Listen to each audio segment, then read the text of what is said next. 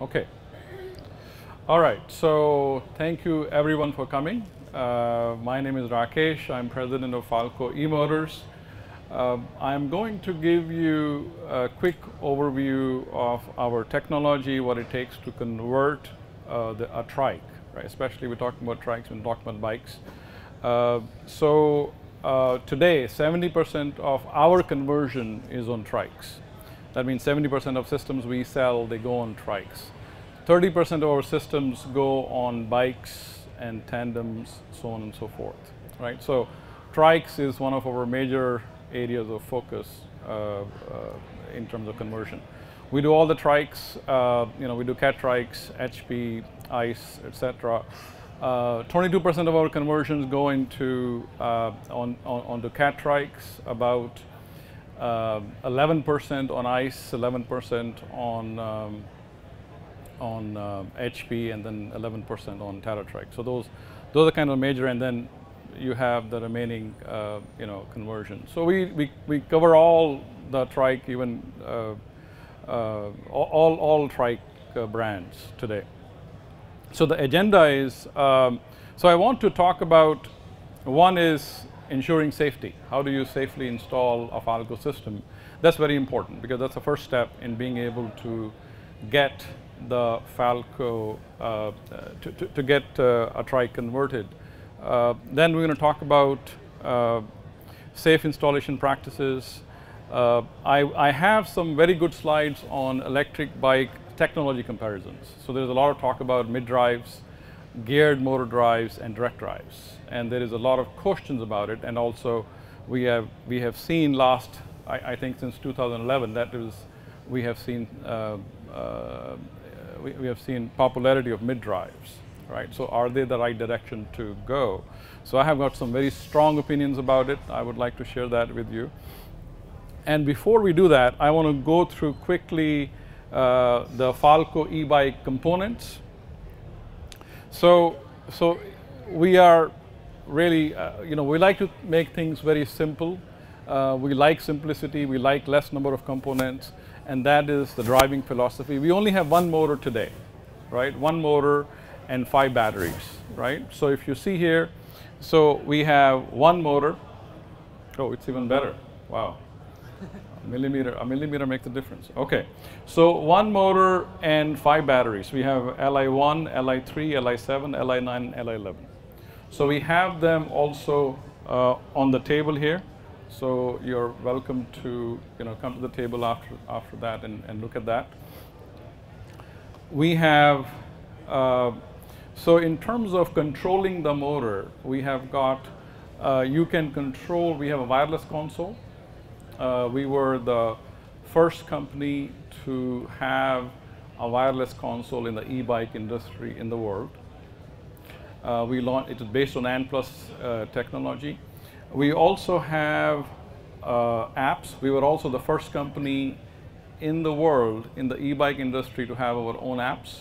Uh, we we showed showcased our app in 2011 in Eurobike.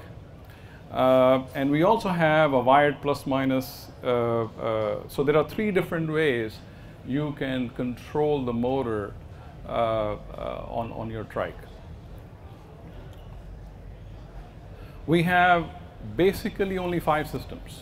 In, in, the, in the catalog, there are a lot of variations, but in a sense, we only have five systems because we have five batteries. So you can say one motor with five batteries, basically it's five systems. And that too, you can see that we have, when we couple with 36 volt batteries, we call them 500 watt systems because the motor automatically reduces the power to go from 750 watt to 500 watts. That is an automatic change inside the motor that when it detects it is a 36 volt battery because our batteries are not meant uh, for 36 volt batteries are not meant to run higher power. So you automatically throttle the down the power of the motor with 36 volt batteries. With the 48 volt batteries, we are able to deliver more power. So you can see with, uh, and, and when we couple with a battery, we take, for example, Li7 battery, so that system becomes F7.7. The first digit stands for the power of the motor. So 5 is 500 watt. And then the second, uh, uh, the decimal or one, one tenth is the battery. So for example, the 7.7 is Li7 battery, 7.9 Li9 battery, and 7.11 is Li11 battery. So these are some of the components which are included in the system.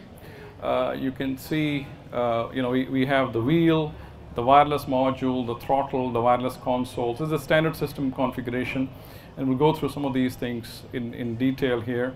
Uh, console charger, torque arms, battery, battery holder, battery holder, battery keys, charger, etc. Uh, we will start including a junction box also as a part of the standard system uh, because it is it is uh, so people don't like to be able to take out the plugs and charge the console. So wireless console um, is easier. You, you can leave it on, on your trike without having to take it off. Today you have to take off the console to charge it.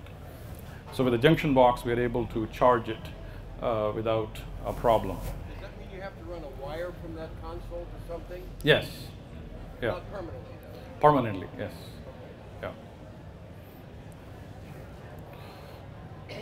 So the simplicity system, we just take the wireless console out. So three components come out, wireless console, wireless plus minus, and the, the charger. So simplicity, and is replaced with a wired plus minus, right? So comparing the 500 watt system versus 750 watt systems, people ask a question, you know, what, what should I choose? So what we have done is we have mapped on four dimensions, range, price, speed, power, and lighter. So you can see E5.1 system, it has got, it's lighter, it has got less range, less price, and less power. Whereas the 750 watt system, it has got uh, little, more, little more weight, maximum range, higher price, and higher power. So that's a very quick comparison of the two systems. So the motor, uh, so uh, this is the uh, exploded view of the motor. We have everything inside. We have the electronics inside. We have sensors inside.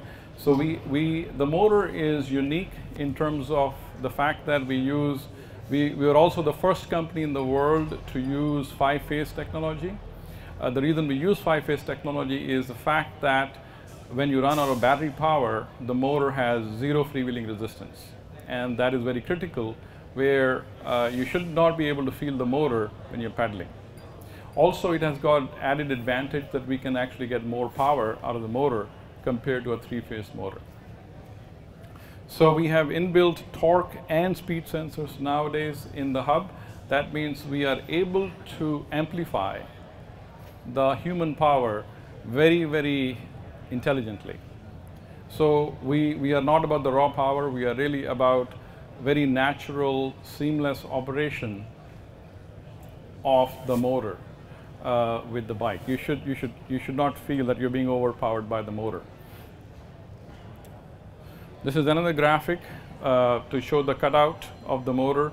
Uh, we have uh, so disc brake compatibility, 11 speed compatibility, integrated torque sensor, 16 integrated sensors, and today we have a 12 millimeter hardened, uh, you know, axle, which is quite remarkable because uh, we can really, even a very heavy rider can ride without having to, you know, having, uh, you're smiling, I can see that. on the 11 thing, you, you and I have that conversation. Yes. Yeah, I think, I think it's a good point. Mark's point is that, you know, 11 speed compatibility is not really true. Uh, it's more like 10 speed. Uh, the hub we use is a chosen hub. Uh, now it is, according to them, mountain bike 10, 11 speed compatible, but Mark says that's not true. Yeah, you can fit the Shimano big cassettes, the 40 and 42 low gear, because the actual low gear fits around the free hub body. But a, you know, like 1136, 11 speed will not fit. It's 10 speed, or unless you do the big. big Thank you, Mark. Yeah, thank sorry, you. No, no, no, thank you for that. So uh, today we have got, uh, you know, we can set for European speed limit, which is 15 miles per hour, or 20 miles per hour, or 28 miles per hour. 750 watt max power output, 45 newton meter max torque. That is, those are the specs. Uh, we do wheel sizes. We have done 16 inch wheel size, but that's very difficult for us to do. We still uh, uh, are able to do some of them. Uh, so 16 inch all the way up to we have done wheels even bigger than 700c for some custom uh, custom uh, bikes. Uh, we are the wheels are built in the U.S. Uh, and and one of the builders we use is Velocity up in Michigan. Uh, we use the Cliffhanger and Aeroheat rims today to build the wheels. We use uh, Sapim Strong spokes and special nipples. So nipples are locked in with the and uh, and I think Larry thinks that we should do better on the on the wheels. Uh, Just turn those heads in instead of out. yes, that is true. Thank you. So sorry. Um, so Larry says that the way we are building the wheels, uh, he wants the spoke heads to turn in instead of out. So, and that's a discussion which he says, it'll, it'll, and he's right in a way that it, it, it, can make for a stronger wheel. And, um, and today, the, our wheel builders are building with, with the, the heads in. So, so that's, that's the point he's trying to make. It's a debate, which is, you know, we need some, some more testing. no? Yes. So dropouts, our motors, standard motors are, they fit in vertical dropouts. Most of the trikes today uh, uh, are 95% are vertical dropouts. Uh, 135 millimeter is what we stock. Uh, 32 spoke holes. We can do any number of spoke holes, uh, 32, uh, 36, 40, etc. We also are able to do non-standard configurations 145, 160, 170, 190, etc. So um, batteries, so let me go through quickly through the batteries. Uh, so we have two flat packs, Li1 and Li11. Uh, they are uh, 36 volt and 48 volt. You can see the amp hours. Uh, the, the, uh, the peak power for the 36 volt battery is about 1000 watts and 1400 watts for Li11. Watt hours 400 for Li1, 500 for Li11.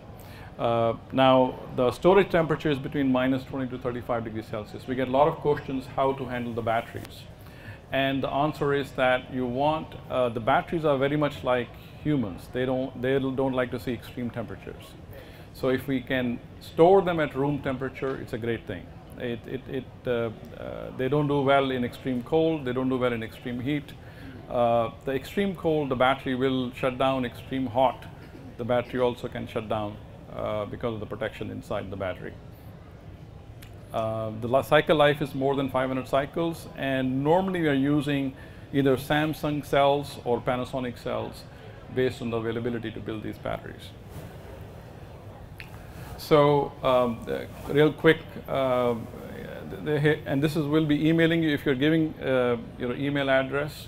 Uh, we are happy to, if you have a notepad you, you, or you give us your card, we'll be able to email all this to you. Whoever has registered for the workshop, we will be emailing this uh, PowerPoint uh, to you.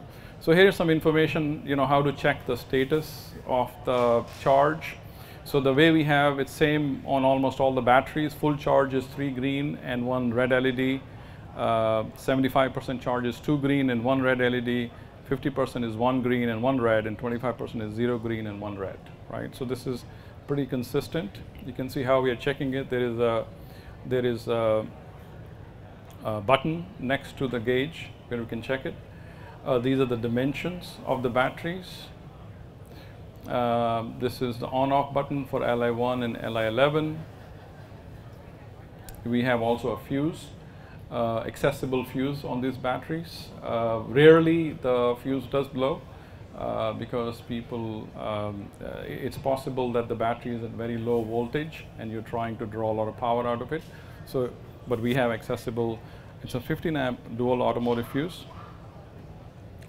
Uh, the battery serial number is on the back, battery voltage and capacity is also on the back. So everything, all the components we have are serialized so we are able to track uh, their production, their warranty, etc. These are dimensions of the battery holders. Um, again, I don't expect to, to you to note it down. We'll be emailing this information to you. Uh, so you can see the battery holder. Uh, you can see where the key is located. So we have a battery holder, the key lock, the power cable, and the keys. So this is essentially what comes with the battery. so here are, uh, we have a lot of questions how to install the battery on a rear rack. We don't supply the rear rack. We have, uh, normally you can mount the battery on any rear rack. So here is the hole pattern you can see. so you can see that there are four holes. Uh, they're all M6 bolts. We provide the hardware along with the battery holder. And we have 18 inch long power cable. It's little more than 18 inch, but 18 inch long power cable which comes with the battery holders. So, and the battery holders, it comes in two parts, uh, and there are seven self-head threading screws which hold the battery holder together. So this is a little little complicated than than the other other batteries, but the the rear rack batteries uh, have got uh, additional assembly assembly time than the other batteries. So this is the complete battery in the battery holder. As you can see, it's about 13 and a half inches long.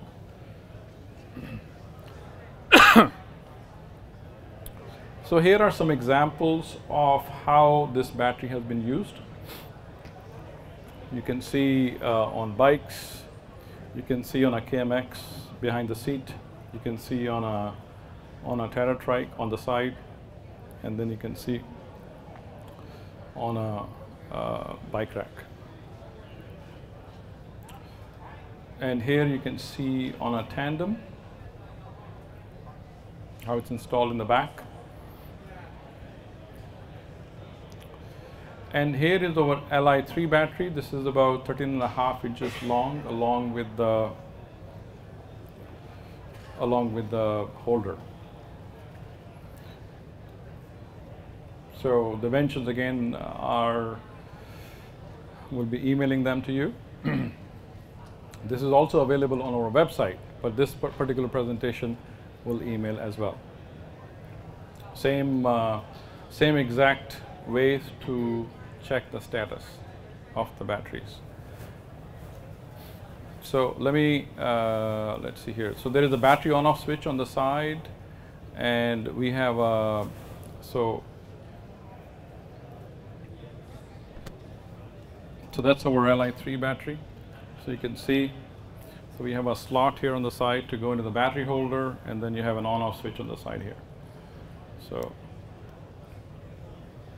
and then this is the wire, this is the gauge. So you can check the status with that.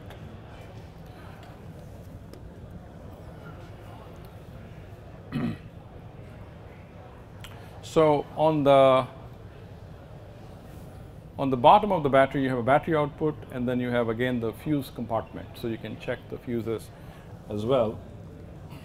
So you can see here on the bottom of the battery. So this is where we tap the power output through the holder, and then we have the fuses here, which we can replace. But normally you don't have to, but sometimes you can.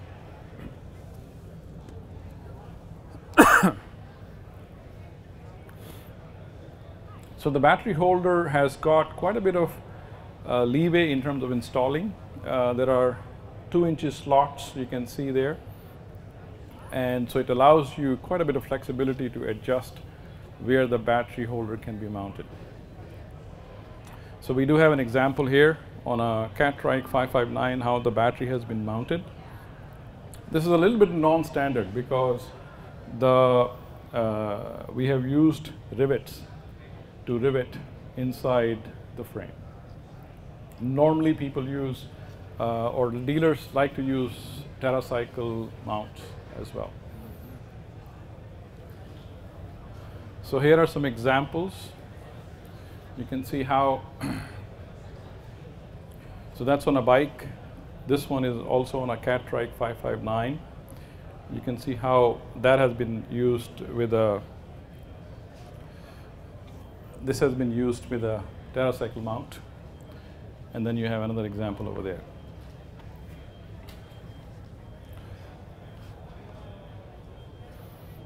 Here is another example. You can see how the battery is mounted. So that the triangle is pretty wide, so you got a lot of room to mount uh, the battery.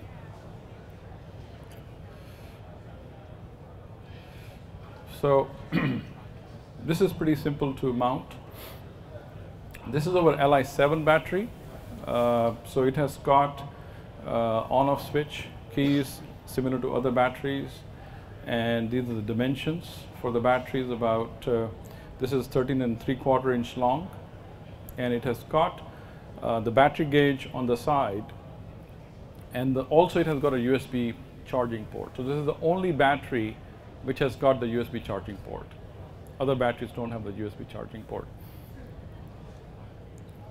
So this is the holder. It has got three slots, one and three quarter inch uh, slots. Uh, power cable again is 18 inches long on all of all of the batteries. You can see the power connector. And similar to other batteries, you have a switch to check the gauge of the battery. So there are different ways to check the gauge, how much capacity you have. We, we, you can see it on the app also, how much battery capacity is left. You can also see it on the wireless console, and you can also see it physically on the battery itself, that how much uh, is left. So Li7 battery also has a tab with which you can, you can use uh, to remove it. Here are some examples. Uh, you can see here how the battery is mounted on the side of the trike. So this allows for fantastic uh, stability because you have a very lower, very low center of gravity. Here is on a tandem. You can see how it has been mounted on a tandem. We do quite a few tandems, and uh, and it it uh, the reports are that we it's an exceptional riding experience. Here is a unique way to mount the Li7 battery. Uh, some dealers use it. They mount it uh, in front of the seat.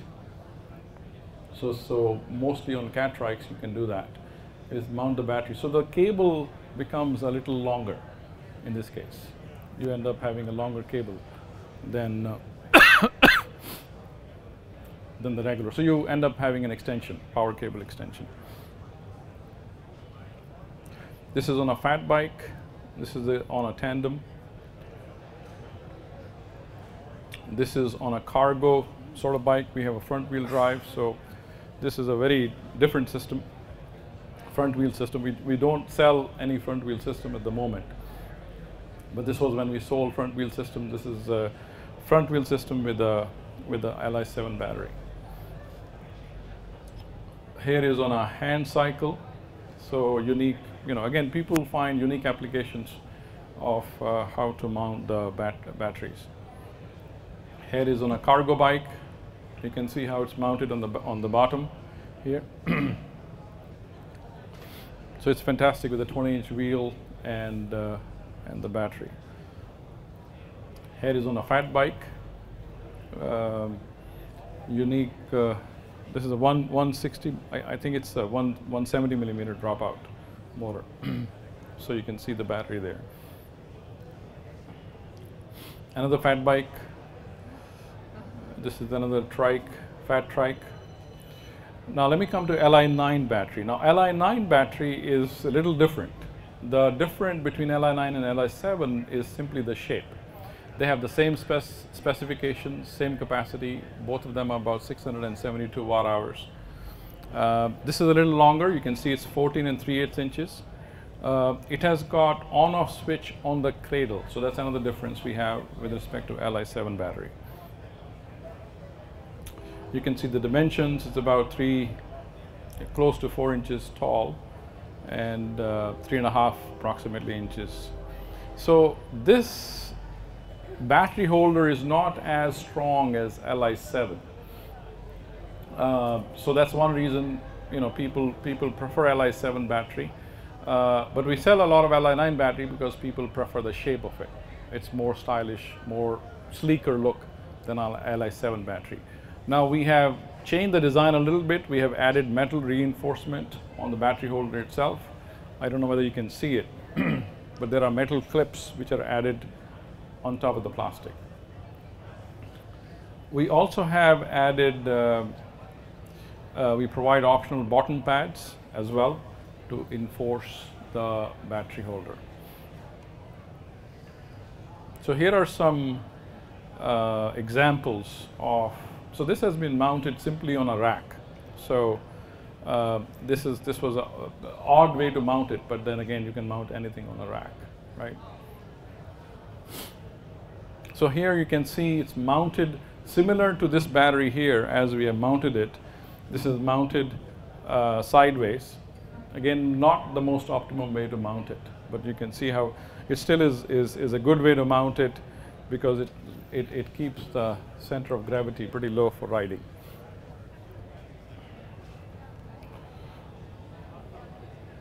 This is on a fat bike and this is on a HP, uh, you can see here. So HP, uh, so HP has a special mount for these batteries. Uh, we don't have those mounts, so, uh, but they come from HP and then we can mount directly the battery on that mount. So this is actually HP with a with dual dual uh, dual battery.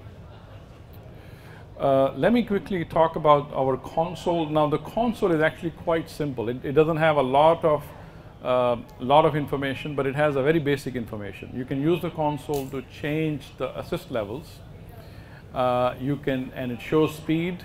It shows trip mileage. It does not show you, so it's more of a tripometer. It's not an odometer, right? It does not keep track of the mileage from the beginning of time. Um, it shows battery voltage, which is uh, in a way you can look at the status and it, it, you can set the wheel circumference. So those are the really only functions this is able to do with the, uh, with the console. Uh, it's based on ANT plus wireless technology. Uh, it does need to be paired up. Normally it pairs up at power up automatically, but sometimes if it doesn't pair up, then we have to manually pair it with the motor. So the console has essentially three components when you order a console. You have the console, the plus minus, and then you have the USB charging cable, which is used to charge the console. There's also an on-off button on the back of the console, so that can be used uh, to, to conserve the battery. Or in the winter, you can turn it off and store it. So the Falco, let me spend a few minutes on uh, uh, on the, so 35 minutes I'm through 72 slides, so I'm not doing too bad. Uh, so let me spend a few minutes on this Falco smartphone technology. So we have, uh, so this technology we have developed uh, over years. Uh, so this has got total of six screens. So you can download it. It's available freely from App Store or from uh, Google Play Store. Uh, it has got total of six screens. Uh, the main screen here uh, essentially allows you to, uh, again, this needs to be paired up with your, just like you will pair up a BLE device, you will need to pair up the app with the motor. And you can see here, uh, this is the connection disconnection button. It shows you the connectivity with this. Uh, this shows you the assist level. So when all bars are green, that means it's level 5 assist. Uh, this shows you essentially the amount of energy you are consuming or you are putting it back in the battery. So these are supposed to be Falco wings where it shows you how much energy you're consuming so it goes green when you're putting the energy back into the battery. It goes red when you are drawing the energy from the battery. This shows you your status, how, how charged your battery is. And then you have the speed and you have time and distance. So this is screen number one. Second screen is the eDrive data. So this is an important screen for diagnostic purposes. Uh, we are able to see the battery voltage, the battery current. So you can actually see these numbers while you're riding it. Uh, it shows you the battery capacity, instantaneous watts. How many watt power are you actually using from the motor? It shows you how many uh, watt hours you have consumed, how many watt hours are remaining, it shows you efficiency, watt hour per mile, how much energy you're using per mile. So that's a very important uh, uh, way to determine the efficiency of your riding. It shows you miles range remaining. So if you're being very efficient, you can actually get a pretty, pretty good range. And then you have got here, it shows you, we also display what is called motor temperature. Uh, and we also show the assist level. So these actually two numbers are shown here. They toggle every 30 seconds between motor temperature and assist level. And this is, this is important. We have uh, at times, if you get an error, for example, this is, this is a fatal error. When this becomes one, then there is nothing can be done in the field. The motor has to come back for repair, right? So, so this is an important part where if it becomes one, we call it edge sensor error. So we can quickly, 99% uh, of the problems we can diagnose through the app. We don't need any fancy equipment to, to, to diagnose it. We can just look at the app and we can see what's wrong. But, but it has to be, the wheel has to be sent back. Yes. So when it is one, that means it's fatal. There's nothing we can do or bike shop can do. So it's a simple binary decision, zero and one. We don't have to go through a long list of diagnostic purpose, you know, uh, training to figure that out.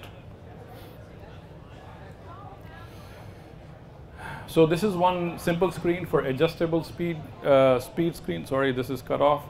Uh, so you can lock or unlock the speed limit. So when you unlock the speed limit, it can go up to 28 miles per hour, and you lock it down, it goes to 20 miles per hour. So it's only available for US options. Uh, Europe, it's 15 miles per hour and you can't exceed it.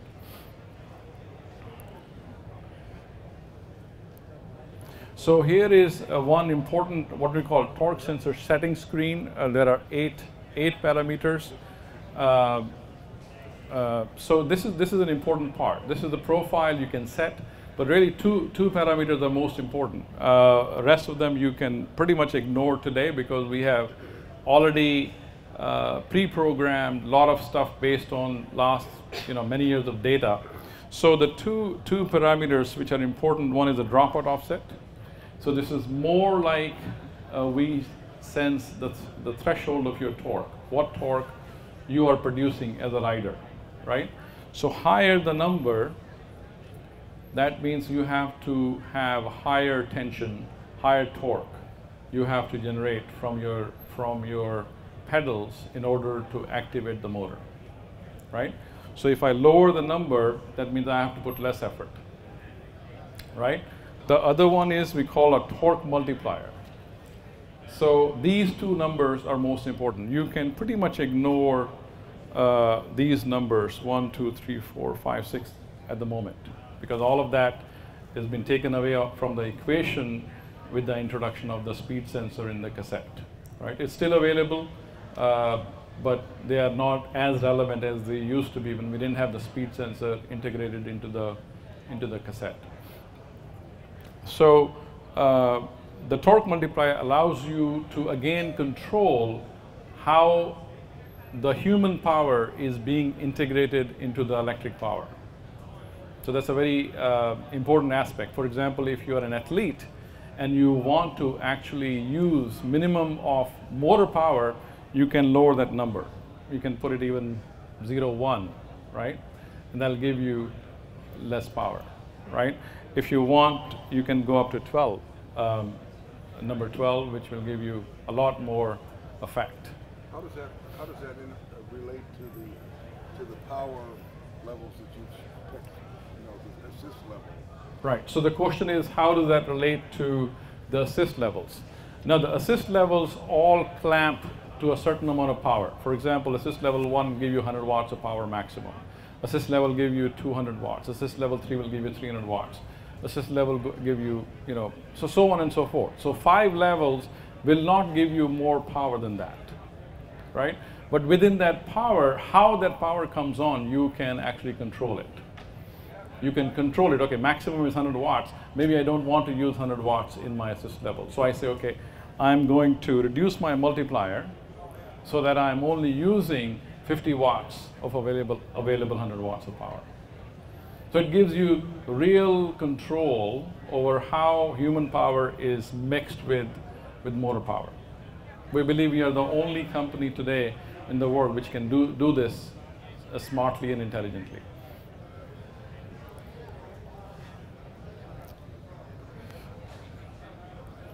And then we have this screen here, which is uh, mainly for diagnosing the torque sensor.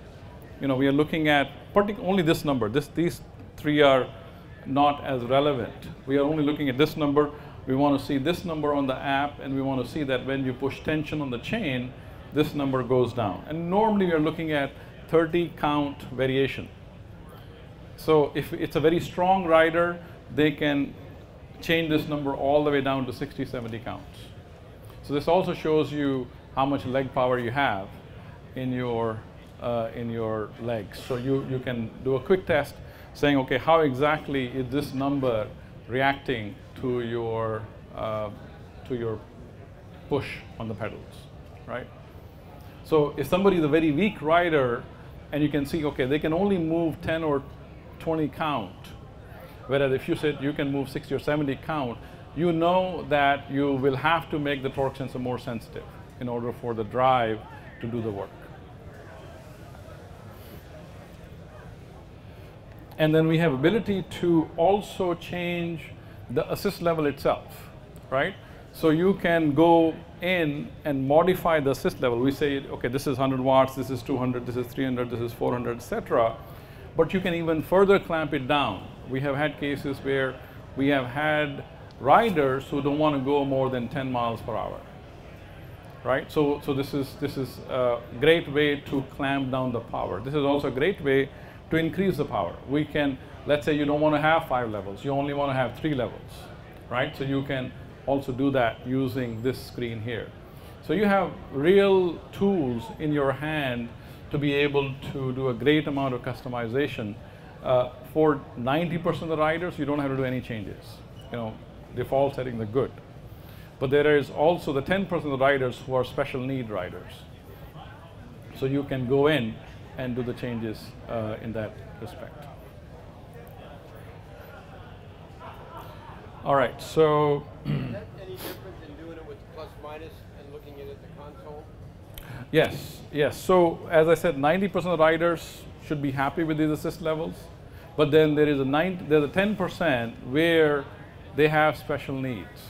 They want to have more power. For example, they want to say, okay, level five, I don't, I want more power, right? We're delivering, let's say 500 watts. We want to actually have 600 watts or 700 watts in level five.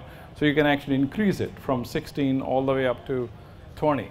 You can do the same thing with the turbo. You know, I can increase each by 25%, and then I can have a very different setup.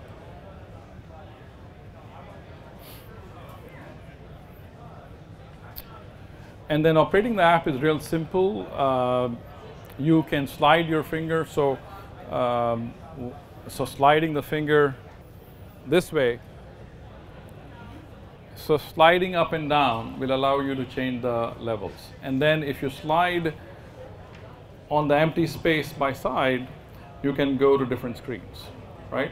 So the operating the app is quite simple. Uh, you can change the assist levels by having your uh, finger slide up and down on the first screen, and then you can go to the next screen by sliding, uh, sliding right or left. What does it say when it says select motor type first? Right, What right. do they mean select motor type? So, so the, the protocol, uh, the, the, pro- the, the steps is that we end up, so let me get to this screen here. In order to access the assist levels, we end up uh, selecting the icon. So this allows you, allows the app to identify the motor and then because this is normally not loaded settings.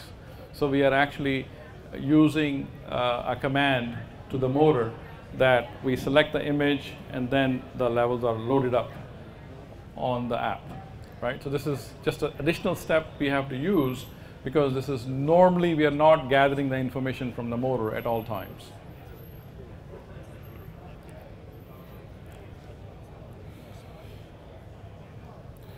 So we also have additional seven settings which you can access. Uh, so if you see, uh, you know, on the side, on the top, uh, uh, whatever you can, right hand side, You can access additional settings. We have seven additional settings, but really for the end user, only or for only two settings are important. One is what we say is the CRM settings, right? All other are for diagnostic purposes. Uh, you can select, so CRM settings and sensor selection. You can also, battery type selection is normally automatically. So motor will automatically know which battery is it's using, but you can always go in and identify the battery you have, right? So two, setting the relevant CRM settings to check the wheel diameter and the sensor selection. Now, we are the only motor technology which allows you to operate the motor with a combination of sensors or with individual sensors. For example, you can also operate the motor just with the speed sensor only. It's a different kind of, different kind of feeling, but it is for those riders who want more power. Again, the last 10%, 90% of the people are happy with the default settings, but then the 10% is, you know, we have had a rider who said, you know, I want more power. So when it says you want to feel more power, they want to see, feel, they really want to, you know, feel the raw power as we call it. So if you want to feel the raw power, you switch the drive over to speed sensor and you can feel the raw power. It consumes a lot of power from the battery, but you can feel the raw power. So CRM settings, you can select from the various uh, wheel options uh, in the app. Uh, we don't have ability to put the exact number in the app at the moment. So it's kind of approximate in terms of the wheel sizes. So sensor selection, sorry, I had a question about the size, the wheel size. yeah. How do you deal with the wheel size? We had, um, wasn't this, is- but you still have to program the size of the wheel, a twenty-six with a three point eight fat tire. It's not a twenty-six. Or your Correct. miles and all are gonna be all, So that's a very yeah. So that's a very good question. Is so how do you take into account very special tire, right? It's a 26 inch wheel. It has got three uh, big. big tire, big tire. So we unfortunately cannot take in, take that into account because we have approximate wheel sizes. We are working on the next level of the app where we can actually put the precise CRM number. I mean, It's I about the same as the twenty-nine. I programmed it as So, twenty-nine, exactly. Right. Somewhere where you know the actual miles and measure it, because otherwise it'd be all off. Uh, that's a great solution, right? So you you know it's closer to 29 inch than the 26 inch. So that's thank you for sharing that. That's a great solution. You can pick the 29 inches. Thank you. So here is uh, wired plus minus. This is another uh, interface we have available. People who don't want to use the wireless console, they can use the wired plus minus system. Uh, so wired plus minus, we call it all in one. It allows you three assist levels, one, three, and five. It allows you three regeneration level, minus one, minus three, minus five. It has a built-in, if you hold the plus, it gives you throttle uh, feeling. And if you hold the negative, it gives you regenerative braking. So all, most of the functions you can carry out with, the, with that uh, Does it have an indicator? it has an indicator, correct. So it has a LED indicator. So you have got five, uh, you have a green LED. So if you can see here, the only indicator we have is the five lights. They turn green. You get your phone on the handlebar, will it tell you where you are too? Yes. Okay. Yeah. Yeah. So the five green LEDs basically, so when you're in green category, that means you're in positive assist level. That means the motor is going to assist you. And if it is red, that means the motor is going to be a regeneration. It's going to be giving energy back to the battery. When you say wired, it's wired all the way to the back. Yes, so uh, it hooks up like that. So you can see uh, we have got, it, it can be hooked up through the wireless module and directly to the motor, or it can be directly hooked up bypassing the wireless module to the motor. Why do you need the wireless module if you wired? So the wireless module, people still want to have the connectivity with the phone. So, so people still want to be able to use their phone and, see, and, and use it. So you can see here how it is displayed. You can see the red LEDs uh, 1, 3, and 5. Uh, low, regen, medium, high, and then you have assist levels low, medium, and high.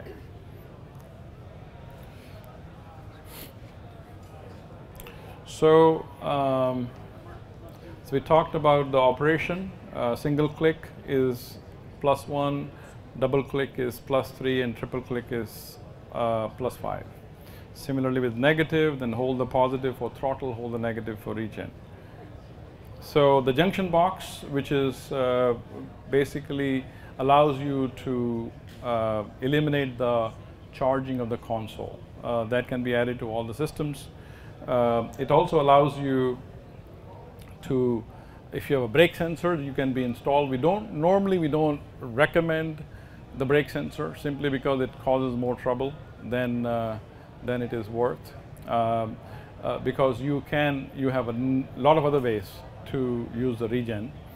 Uh, but we do have that input available.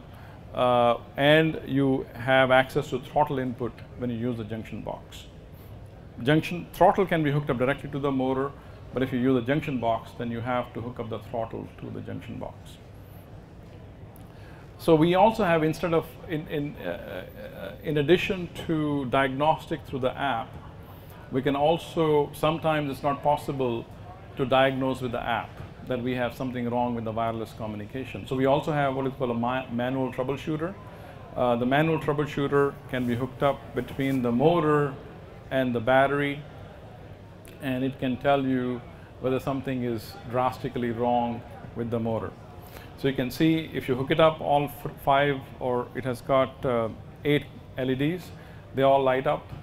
That means everything is good from a hardware standpoint. Uh, this is this LED indicates you know your battery is good. Uh, this indicates you, we have three cables from the motor: battery, four pin, and six pin. So you can check whether all connections are are good. So four pin cable, uh, those LEDs light up, and then six pin cable, those LEDs light up. So when all are lighted up, that means the motor hardware is in good shape. So uh, we also have a programmer available. This again allows you, uh, if there's a drastic change in the operating system of the motor, we don't require it. It's not required. Our system has been uh, extremely stable and and and performing quite well uh, for for past several years. So, but this is available. This is available also to change the motor because we we as you can see if you come to our booth, we also have integration with virtual reality. So today, uh, in, in order to change the motor from, from just being an outdoor use to indoor-outdoor use, we end up changing the operating system of the motor, right? So then it can be used both for indoor as well as outdoor mode. So if you haven't checked it out, please come to uh, Booth 205 uh, and ride uh, the virtual reality integration. It's quite, quite extraordinary. Um, so ensuring safety in terms of the motor hard, yes, yes sir. When you say indoor, you're talking about like on a wind trainer? Correct. So you can change the mode from in wind trainer and then change it back to outdoor. So yeah, so the motor itself will act as a load if you if if you use our indoor outdoor uh, e-drive. So you don't need anything extra. You have just, you know, we, we have the rollers, you roll, the motor itself acts as a load. And it can hook up to the virtual reality program like a Zwift. And the motor actually is trying to simulate the, the road. So if you're going uphill, the motor is going to become stiff. If you're going downhill, the motor is going to become easy, right? So it is going to simulate, so you could be, you know, you could simulate cycling in Paris. You could simulate cycling in New York City. You could simulate cycling anywhere. So when that program comes through the through the PC, through the virtual reality, the motor will automatically simulate uh, the road conditions. So installing, uh, we have the motors have uh, an axle with a part number. Uh, you can see here. Uh, it's a 12 millimeter diameter axle, 10 millimeter flats, 1 millimeter fine thread. Uh, it is a chromoly hardened steel uh, and it has got some numbers on the flats. So those numbers, when you're installing the wheel, it has to point to the back. The hardware which comes with the wheel, we have got uh, two M12 nuts, uh, we have got two washers and two torque bars. So you can see here, uh, M12 nuts, two plain washers and two torque bars. We also provide torque arms. Uh, torque arms are required for almost all the installations. Uh, so we provide one set of torque arms. You don't need two sets of torque arms. One set is more than sufficient. Uh, and here is an example how to install it. You can see here. Uh, so we have got M12. We have got two washers. We have got the, the base torque uh, base, uh, base, base arm of the torque, uh, torque arm set. This is torque arm 1. This is the M5 bolt.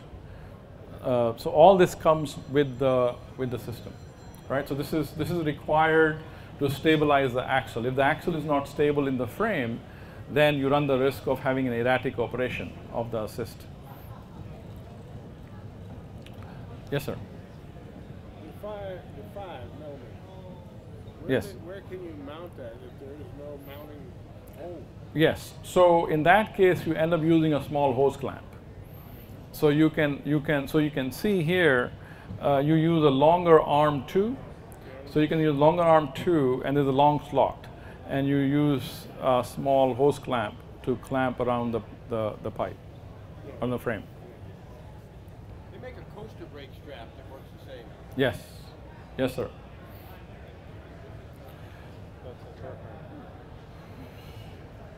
So the M12 uh, needs to be tightened to about uh, 40 newton meter torque. So that is uh, a requirement for safe installation. Uh, we also recommend that you use, you can use a blue Loctite on the threads, Loctite 242. That also is, is a good one to use. So second set of torque arms, people ask that quite a bit. We don't need a second set of torque arms. One, one set of torque arm is more than sufficient to stabilize the axle and, and hold with the frame. So the dropout, uh, most of the trikes have got very good dropouts. Normally we have run into trouble with bicycles, not so much with trikes. Because there are bicycles which may have only like a 8 millimeter or 10 millimeter dropout and they are shallow dropouts. In that case, maybe you need a second set of torque arm. But on trike, we have never seen dropouts which are shallow. So most of the trikes have very strong dropouts.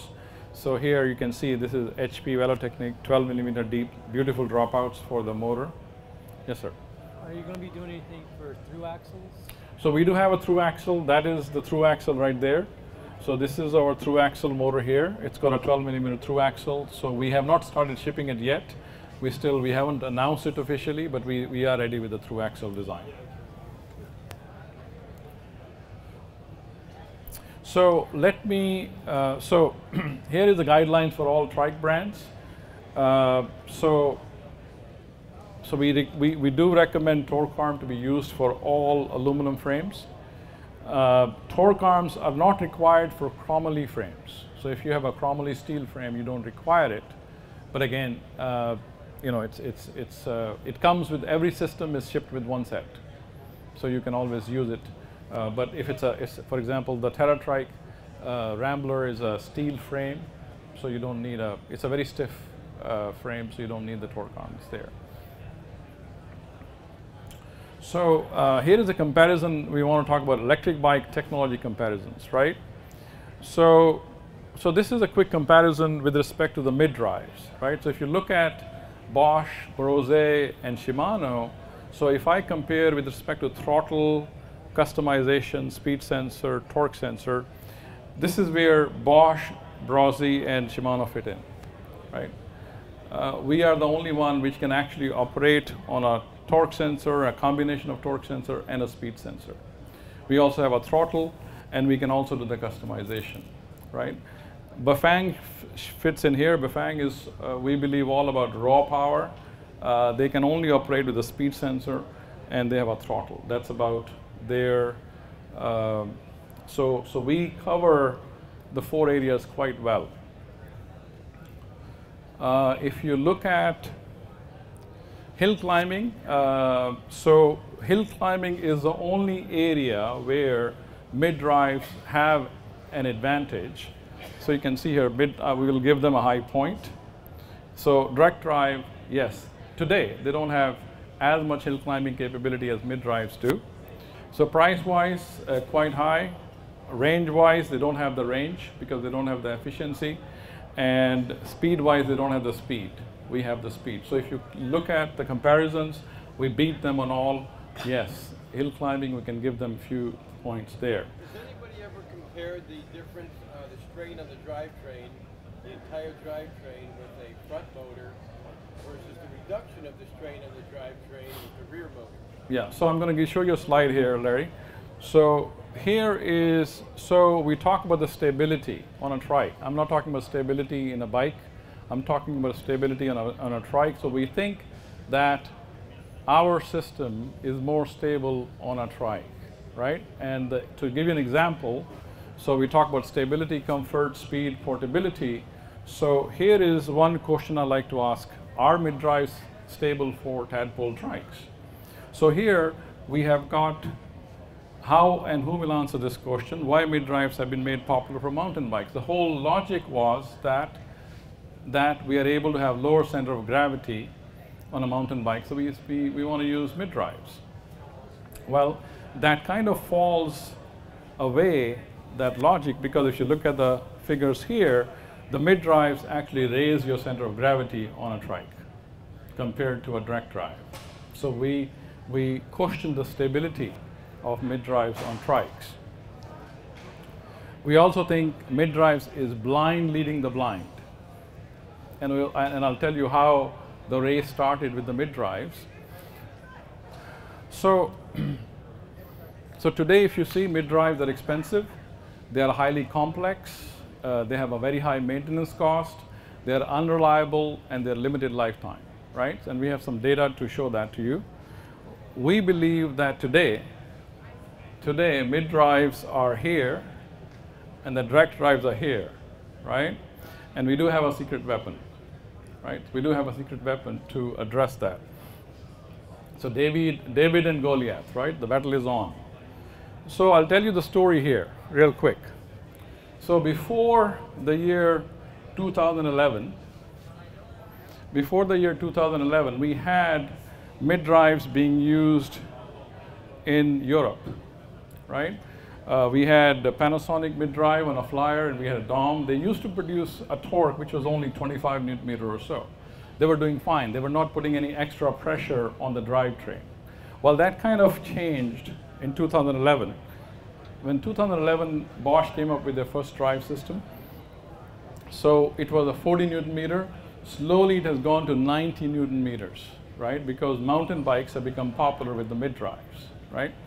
So so it has required re-engineering all the bicycle components, including the chain, including the derailleurs, including the tires, etc. Right? So this is, we believe, a commitment to a wrong solution. It's expensive, wasteful, and unreliable. Now we think that the trend will reverse starting 2021 when we come up with our secret weapon. So today and in 2018, we have seen the demise of BionX and GoSwissDrive, which has again added more credibility to mid-drive solution, but that's only temporary. So here is some more pictures I want to show you. So this is a Brose mid-drive, which is actually, uh, they did something unique. They actually added a belt drive, a second, so you can see there is a control electronics, there's a motor, so motor has become bigger and bigger in size as the time has gone by. And you can see there's the first gear stage, the second gear stage. Now let me show you how the power is transferred in a mid-drive. This is the Bosch uh, two-gear stage, right? So you can see they have improved quite a bit. If you look at their first generation, uh, the motor was very tiny. Now they have increased the motor size to decrease the load on the gear system, right? So if you look at, here are the issues with mid-drive. So we took the data, so here are our data sources. We went to uh, electricbikereview.com and pedelecmonitor.com, we could see that the mid drives, you have got mean failure point is 4,000 miles. That is when a mid drive begins to fail. That is because you are using gears you're not supposed to use them. And you have a probability of failure which is also plotted. So basically you can see that the mid drive after about 11,000 miles, it is going to completely fail. The probability of failure is 100%, right? So, so here are some bicycle gear efficiencies. Again, I will be emailing this to you, but let me come to the conclusion. So we did the math. Here is the math we have done. We have looked at the, the chain tension, which the point you were talking about. Uh, we have looked at the uh, crank arm, etc. We've done all the whole math, right? And here are the some numbers I want to show you. So, a mid-drive motor, a mid-drive motor can increase the chain tension 10 times. 10 times. And if you look at the power transmission efficiency of a mid-drive, a power transmission efficiency of a mid-drive, the motor itself is 85 to 95% efficiency. First gear stage is 85 to 95% efficient. Second gear stage is 85 to 95% efficient. Derailleur is 85 to 95% efficient. So by the time the power is transmitted from the motor to the wheel, you're losing more than 50% of the power. So what's the point? Why have an electric motor which cannot transfer the power to the wheel? So you have 42% is the lowest efficiency, highest efficiency is 73%. Not good enough. We, we, we do cycling because we want to have more efficient operation. Power transmission efficiency, direct drive. So here is your efficiency. Power, power transmission efficiency direct drive ranges from 68 to 85%. And if you're on a flat, it can go all the way up to 95%. Here is your power transmission efficiency of a geared direct drive motor. So you can see even that is a better solution than a mid drive where your lowest efficiency is 57% and highest is 81% because you have only one gear stage. Thank you. Here is the torque transmission. So you see this is where the trick is played. This is called, I call this cheating, right? So you can see here motor normally will produce 1 to 5 newton meter torque. You have first gear stage, second gear stage which will multiply 12 to 18 times multiply the torque, right? You have a derailleur normally 1.2 times. Now here is the trick. If I decrease the front wheel, if I decrease the front wheel, I can actually increase the torque three times just in the bicycle so I can play the game.